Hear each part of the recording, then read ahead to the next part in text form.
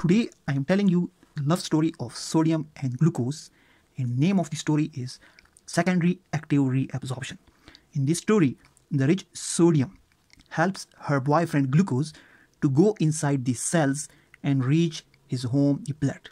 Now, to understand the story, you need to know some of the previous episodes of this drama. So basically, what's going on that inside the kidneys, in the process of urine formation, in the process of urine formation, there is filtration of blood in the nephrons inside the kidneys.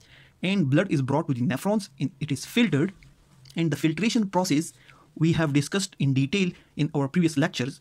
And once the filtration has occurred, the filtrate along with substances enter the proximal tubule of the nephron. Now from the nephron, the proximal tubule of nephron, some of the substances are reabsorbed into the blood that is known as tubular reabsorption and some of the substances are excreted into the urine. Now, the tubular reabsorption process is either passive without use of energy or it is active which is with the help of energy. Now, we have previously discussed that active reabsorption of substances from proximal tubule into the blood from proximal tubule cell these are cells of the proximal tubule and reabsorption from proximal tubule into the blood is either passive or active. And active reabsorption is either primary active or secondary active. Now in our last lecture we discussed in detail that in active in the primary active transport in the primary active transport there is direct use of energy by breaking down ATPs and absorption of substances occur from tubular lumen into the cells of proximal tubule and then into the blood or intercellular spaces. Now, the example used was that of sodium in which the energy is generated by the breaking down of ATPs by the sodium potassium ATPase. That was the active transport.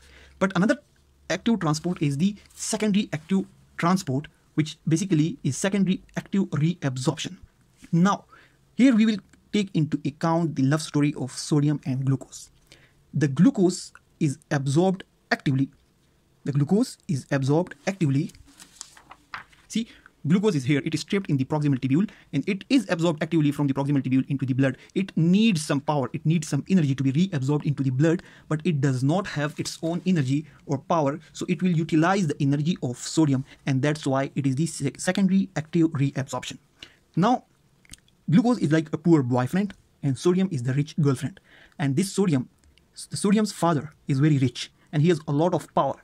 And he is basically active here and he's continuously swinging all the siblings of sodium, that is sodium and potassium, they, they are basically playing here, throwing sodium out and throwing potassium inside, which give her the energy because at any turn, this sodium has a chance to enter into the cell.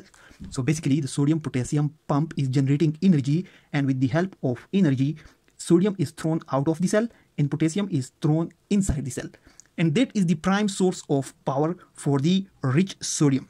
Now, because the sodium here with the help of this pump is thrown out thrown out of the cells of proximal tubule, so the deficiency of sodium generates inside the cell, due to which the sodium in the tubular lumen has a chance to enter inside the cells with the help of the carrier proteins.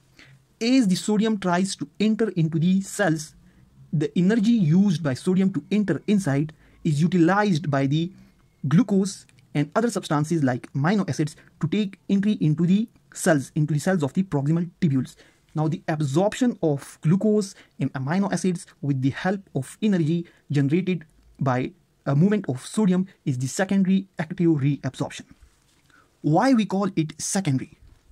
because why we call it active and why we call it secondary active it is active because the reabsorption of glucose from the proximal tubule the reabsorption of glucose and the reabsorption of amino acids from the proximal tubule into the blood is up is basically needing some energy so it is an active process the reabsorption is active but the energy is not in itself generated by the glucose or amino acids.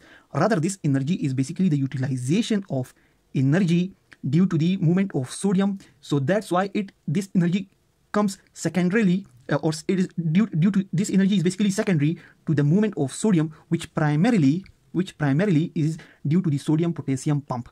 So that's why it is a secondary active reabsorption process.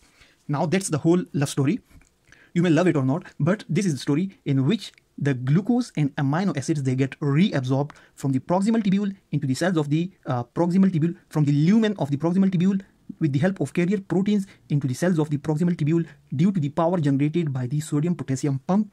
And the power generated by sodium potassium pump basically throws out sodium out of the cells. So deficiency of sodium is generated in the cells. To fill the deficiency sodium from the tubular lumen enters into the cells. And this movement of sodium along the carrier proteins into the cells generates some energy and that energy is utilized by glucose and amino acids to basically move along with the sodium inside the cells. And this movement of glucose and amino acids from the tubular lumen into the proximal tubule and then into the intercellular spaces and uh, then finally into the blood is the secondary active reabsorption of sodium and sorry of glucose and amino acids. And that is the end of this love story. Thanks a lot for watching the video